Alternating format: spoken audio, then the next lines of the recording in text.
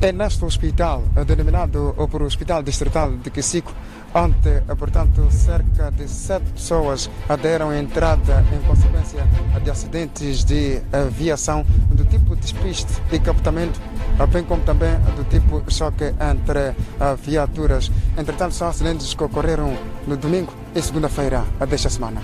São resultantes de dois acidentes ocorridos em Mavila e Quisico ao longo da Estrada Nacional número 1 nos dias 22 e 23 do mês corrente. Por gravidade dos ferimentos, dois pacientes foram transferidos ao Hospital Provincial de Inhambane e um ainda internado no Hospital Distrital de Quisico. Os dados foram confirmados na nossa reportagem por Osório Trigo, diretor daquela unidade sanitária.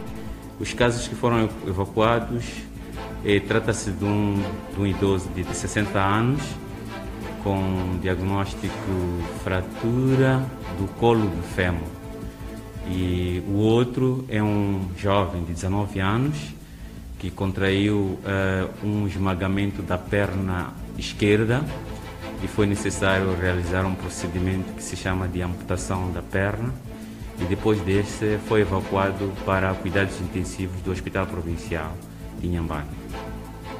O, o terceiro, neste momento, goza de estabilidade hemodinâmica e a curto tempo poderá voltar ao seu convívio familiar. Dizer que, de facto, como sabe, Zavala é um corredor de morte, é, é muito triste em dois dias termos sete vítimas, tudo isso relacionado com comportamento na via pública. Trigo lança aos condutores o seguinte apelo: As pessoas pautem por comportamentos que possam reduzir o sangue nas estradas. Não há um maior bem melhor do que a vida. Então, correr atrás de prejuízos é mais perigoso do que prosseguir por uma condução defensiva. Velocidades excessivas e ultrapassagens irregulares lideram as prováveis motivações dos acidentes de aviação ocorridos neste ponto da província de Inhambane.